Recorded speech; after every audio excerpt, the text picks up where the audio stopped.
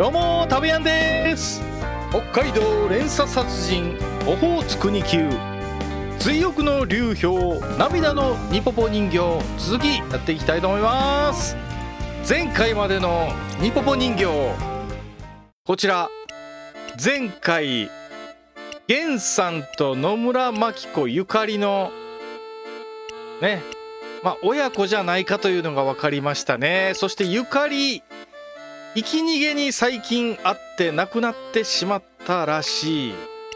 ということですね。そして奥村の手紙を見つけまして真紀子さんの部屋からね出てきました。懺悔する手紙。えー、阿久津白木飯島との関係はどうなんでしょうか？何を真紀子に対して懺悔していたのでしょうか？続きやっていきたいと思います。さあ今回の、えー、捜査指令こちら、えー、まず源さんと会いましょう。そして源さん一家と被害者3人の関係は何か問いただしてみましょう。真紀子さんとも会いたいですね。奥村の手紙を、えー、見せて。あ持ち物に持ってる？持ってった方がいいんじゃないのかな？あの手紙ね。中入ろうか。あと内に入りました、えー、飯島が増田に脅迫された理由前回から引き継いでね。3番4番は増田と源の関係。それから個人的に気になったのはじゃあ真紀子の母親源さんの妻は誰だったんでしょうか？うん。続きやっていきましょうかね。はい。えーと何か取れで手紙あ取れないのか。手紙は見るだけね。やはり手紙のうん。あとあアルバムも見ましたよね。一通り写真を調べました。あれ？アルバムというかなんかあのえー、っとどこだっけ？なんか写真あったよねあの写真を撮れ。この辺りには。えー、っとどこだったかな？なんかあの家族の写真あったよね。ちょっと忘れちゃったけど。まあいいか。一回見たからね。はい。では外へ出ますことで早速コロポックリに行きましょうか。あと門別にえー、っと忘れちゃったな。えー、っとこの人に聞いてえー、っと一ゆかり。そういえば。何だったっけ？門別。忘れちゃったな島さんは知らない。あちょっと待って。私の遠い親戚にいそれは関係ないだろうね。さあ。ちょっと忘れちゃったけどまずコロポックル行きましょう。へいいらっしゃい。え？刑事さん。あ源さんいないね。源さんどこ行きました？源さんは4日ほど前から休暇を取っていますがえ？4日も。連絡取れないかな？源さんはよ源さんの家族のこと知らないかい、あんまり自分のことは話さない人だからね。確か奥さんにはずいぶん昔に死なれたとか聞いたことがあるけれど。昔に死別？そうなんだ。やっぱりでもじゃあ奥さんの死因というかなぜ亡くなられたんだろうねそれがその事件に関わってるんじゃないかな。そういえば娘が2人いるとか聞いたような気もするな。やっぱりね。源さんの連絡先は教えてくれないかい？え？周りを見て。普通の。あとまだ取ってない。今は聞記憶のかけら取りたいね。こっちなんか。新鮮。新鮮な。この辺にあるんじゃないの？新鮮なとこに。新鮮。源さんよりずっと。あんまりなんかプライベートな話はしないんだね。仕事場ではね。メニューを見る限り普のロバタメニューを見る。今は見調べてみました。えー、調べてみ調べてみどこだ？調べてみこの湯気のとこ？調べてみ違う。源さん調べトウモロコシか？新鮮。新鮮。うんなかなか見つかりませんね。また今度にしましょうか電話をかけろ。ああ阿久津事務所かけてなかったよね。かけてみるか。あ便利ですね。これねファミコン版だと実際にメモしてないと電話できなかったんだよね、はい、の事務所です。ええ私秘書のものですが。ああやっぱり国会議員の事務所につながったか。はあ。警察。殺人犯の遺留品の手帳に阿久津先生の名前が？うん。そんなこと言われても特に心当たりはありませんね。心当たりはない。切られちゃったか。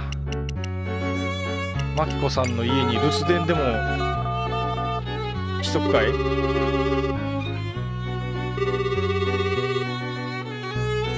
いないみたいですね。ないよね。北浜ホテル。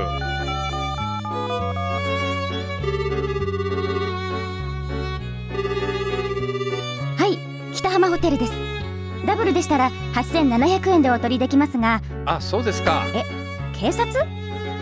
いた。いたずら電話って言われたよ。つい1週間ほど前も無断で1日仕事を休みましてね。え1週間前に？訳を聞いたら何でも身内の人のお葬式があったとか。ああ妹娘のことだよね。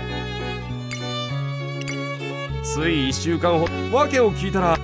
うんうんうん。源さんは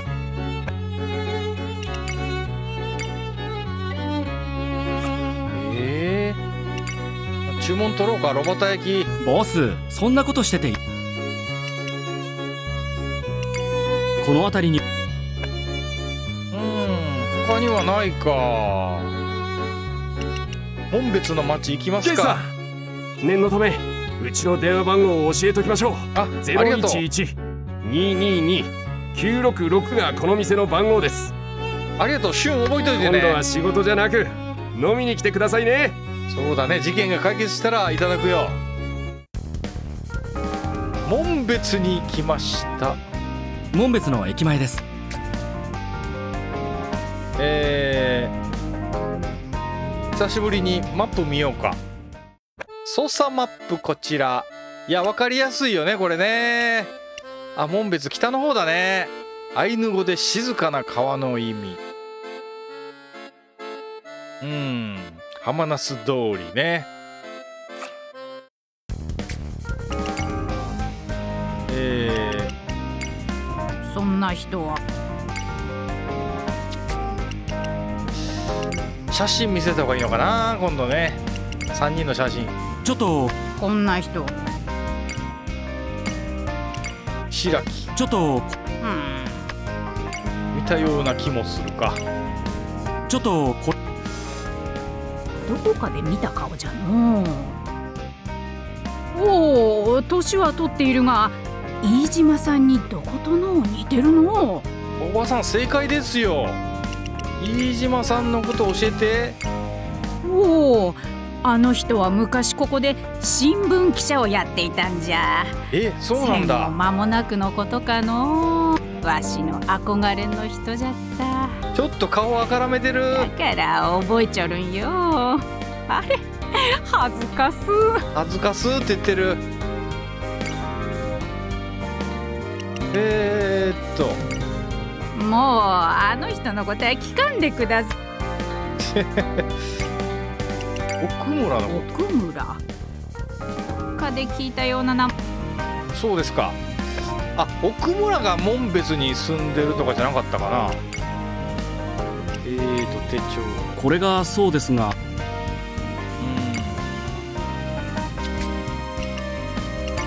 ん。何か調べろ浜那須通浜那須通りとか。バスに乗れる？調べてみましたが。国何もなし。あんなところ。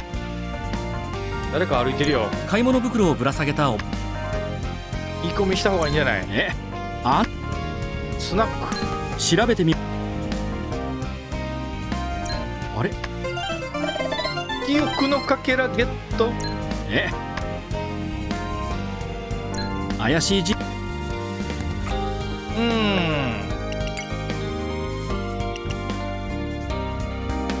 他に奥村のこと思い奥村。思い出さないかな。警察ですけども。ちょっとこれ。どうかしたかか。人を探せだね。あ源さん真紀子怪しい人。探しましたが。ではちょっと周りをやっぱり見あ各地にまあ今回のミッションはこれだよね。源さんと真紀子を探す。探しましたが。うーん。そんな。おばさん頼みなんだけどな。も恥ずかすっていうだけで。う 奥村。何か。ここには写真を撮ってもしょうがないんだしこの辺り。にな電話をかけろ。えー、コロポックリにかけてみましょうか。せっかく教えてもらったからね。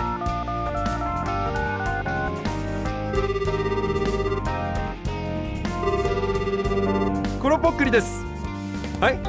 4日前から休暇を取ってやすえ子供？さあ。うんやっぱり変わらないかマキコのアパートに戻るしかないの？マッシュコ。マシューコで。人探せ。この辺りには我々。うん。電話をかけろ。えーと。電話ないのか？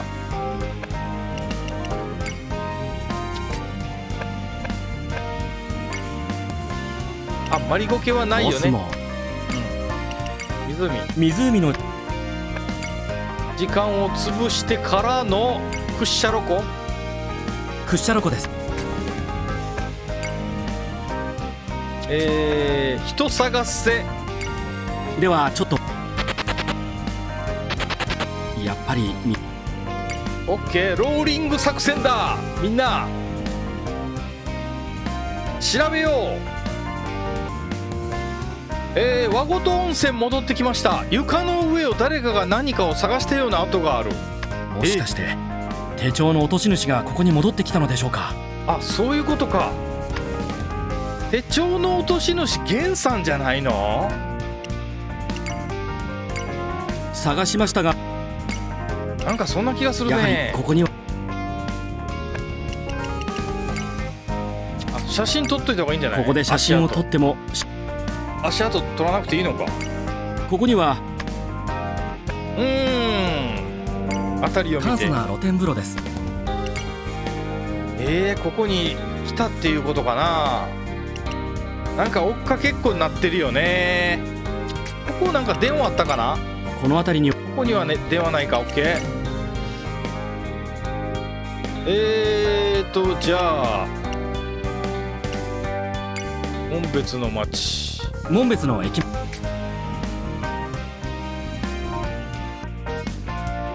えー、門別戻ってきました。おばさんがね山の上の展望台えって教えてくれましたね。展望台行きましょう。門別の町が一望できる展望台です。慰霊碑があります。僕のそばには散歩をしているらしい人たちもいます。うん。辺りを見ろ。なるほどここからだと門別の町もオホーツクの海も一望のもとです。何の慰霊碑なんだろうねこれ。なる。えー、周りの聞き込み慰霊碑のこと。昭和24年紋別沖で一隻の漁船が沈みその時この山に墓碑を建てたのがこの慰霊碑の前身だそうです。あそうなんだその船はなぜ永福丸遭難者慰霊碑永福丸？大した話は聞けませんでしたが二十歳ぐらいの可愛い女の人と50歳ぐらいの男性の2人連れが備えていくのを見た人がいました。俊しっかりしろ。それ源さんとマキコさんのことじゃないの？え？じゃあその母親はその永福丸に乗ってたっていうことかな。何か調べろ。慰霊碑。海で亡くなった人たちの慰霊花束が2つ備えられています。ちょっと花束見てみろ。花束が2つ備えられています。うーん何か取れ。花束。そんな。何か証拠がないか。えー、人に聞け。花束のこと。特に手がかりに。人を調べろ。特に怪しい。人に見せろ。ではその持っている写真を見せてみましたが何の？うん特にないか。源さんの写真とマキコさんの写真持ってないからね。人を探せ。もしかすると慰霊碑に花束を置いていったというのがそうかもしれませんがうんすでにいないか。もしかするといそうだね。探しましたがそうか。ちょっと遅かったか。オホーツクのオホーツクの一通り調べておこうか。あのおじいさんずいぶん息を切らしてます。高台にあるんだろうかな。いやでも海のそばだからね。じっくり慰霊碑を見ま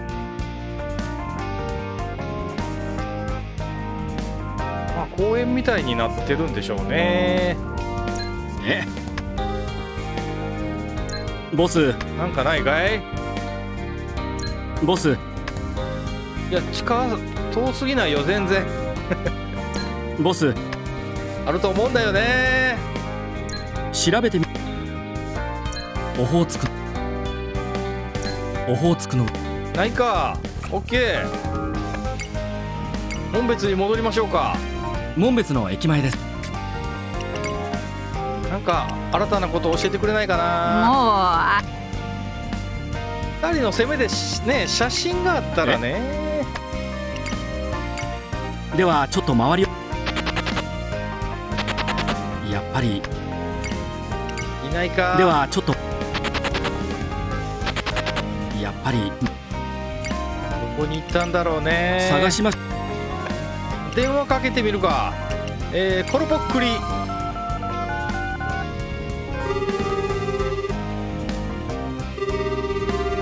コロポックリです。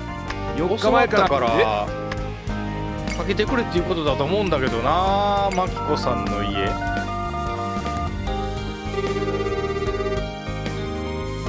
まあ戻ってないだろうな。いないみたいで。すじゃあ今度2人でどこに行くって言ったらやっぱり阿久津事務所。でなんか事件を起こしたりしないだろうね。阿久津だからね。はい。阿久津はあ。うん。阿久津事務所の場所が知りたいよね。アパートに戻ってみましょうか。おや。マキコさんは戻ってそうませんか？いえば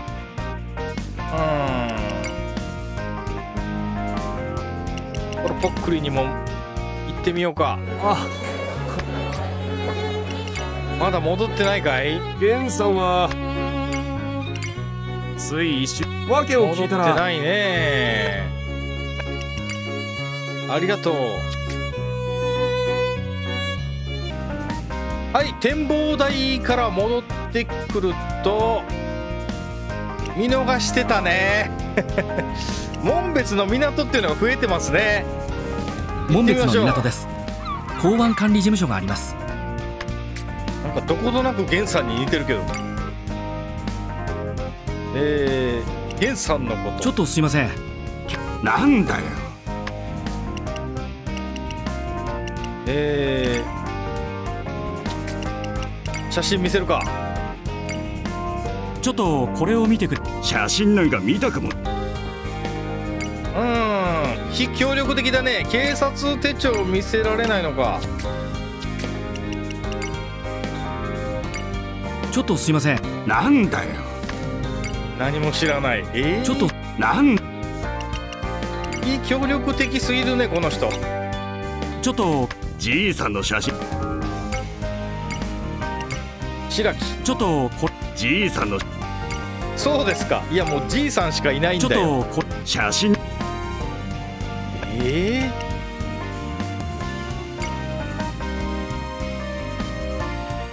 理事務所調べる。普通の建物でうん漁船。15メートルぐらいの漁船でかなり沖まで漁に行く船だそうです。あそう。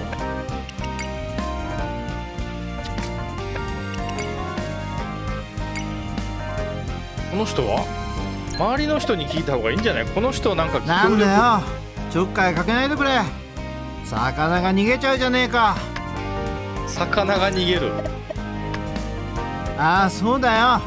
全然釣れねえよ。分かったらもうあっち行ってくれ。ますます釣れなくなっちゃうだろ。本別港機嫌の悪い人ばっかりだね。今日は坊主だったのかな？坊主なのかな？え？ー、何か教えてよ。ちょっとすいません。なんだよ。人を探そう自分でねではちょっと周りを見てきます。やっぱり見つかりません。そうか。ではちょっと周りを見やっぱり見いいよ。シュンスピード感あるよ。探しましたが。人に見せろしてもダメだしね。ちょっとじ？何これ人を調こべろ。の辺りの漁師。で漁に漁に出られなかったんだ。ったあなぜ漁に出られなかったんだろうね。あ漁のこととか聞いた方がいいんじゃないの？ちょっとすいません。なんだ。すごいイライラしてるからなんかあげた方がいいんじゃないの？写真を撮れ。この辺りには。電話かけろ。この辺りには電あ事務所の中。入れる？あ管理事務所入れるね。よしよしよし。管理事務所に入りました。すみません警察の者ですが。あニポポ人形置いてる。沈んだ船のこと聞きましょう。うーん。ここらで一番大きな事故は昭和24年の永福丸沈没でしょう。うん永福丸沈没。記録によると船頭ほか7名がこの事故で死亡してますな。船主は奥村喜助となっとるなんだって？奥村喜助ここで出てきた、えーっと住所は。ああここから海岸沿いに行って諸骨川を越えたあたりですな。奥村喜助の住所ゲットしました。えー、っと、まあ、写真見せてもわからないだろうね。っていうか奥村の写真持ってないしね。ちょっと見たことの捜査の基本はねちょっとこんな人。努力。ちょっとおや？源さんに似てますあね源さんの知り合い？源さんのことを聞きましょう。源さんも昔この辺で漁師をやってましたが。あ元漁師なんだ。今は札幌に引っ越して元気にやってると聞いてますよなるほど。ここも門別出身なんだね。そして沈んだ船のことあ源さんの今の。源さんのことだから元気でしょう。なんちゃって。源さんだから元気。ああ面白い。ありがとう。沈んだ船のこと。ここらであ。そのこと？う聞いたね。奥村のこと。沈んだ船の船主が奥村喜助となっておりますが私は直接会ったことがないので何分昔のことだからまだ生きているとしてももう随分年でしょうな。うん。そうだね、まあ、他のことは知らないだろうね。そお役に。やっぱりね。えー、っと何か調べろ。ニポポ人形か。これはニポポ人形ですえー、ニポポ人形のこと聞きたいんだけど。シュンが知ってるのかな？写真撮れ。ここには。ニポポ人形です。これはニポポ。それだけ？まあ主役となるのはもう少し後みたいですね。他には何かあるかな？電話。電話かけますか？調べてここの係。うん。じゃあ行きますか。管理事務所の外に。この人は冷たいからね。奥村の家行きましょう。奥村の家です。ようおいでなすった。まあ上がりなされ。ではお言葉に甘えて。この人は？ふんがふんが。ふんがふんがって何？え？ほんにまあええお日和ですの。え？人を探せ。あ呼んでもらおうか。こんなところに誰奥村喜助さんを。まあ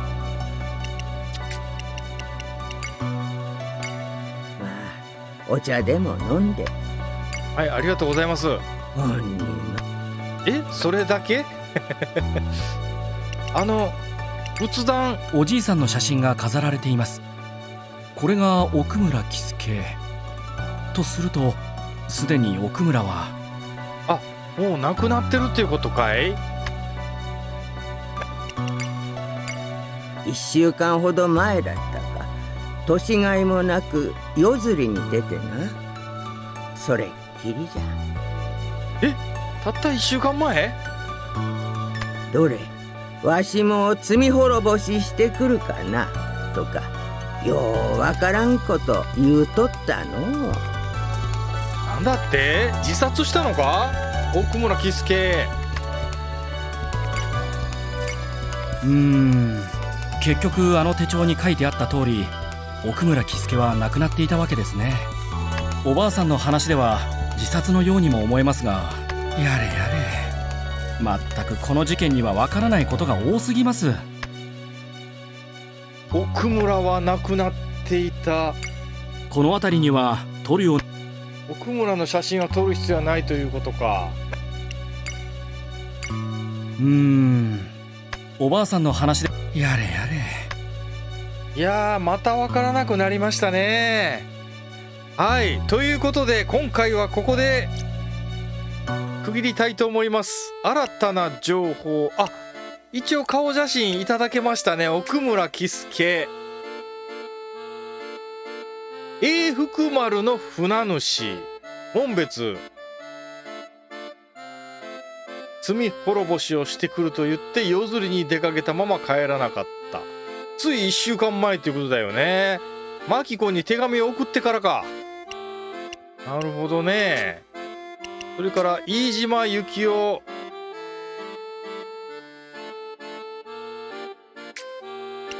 源さんの新情報。昔は門別で漁師をしていた。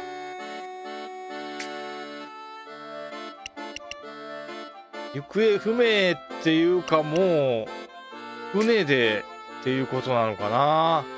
夜釣りに出かけたまま帰らなかったらしい。手紙を送っている。うーん。あとは阿久津との関係それから源さんと真紀子を今回ね見つけられませんでしたけども。次回見つかるんでしょうか。それではまた次回もお楽しみに。さよなら。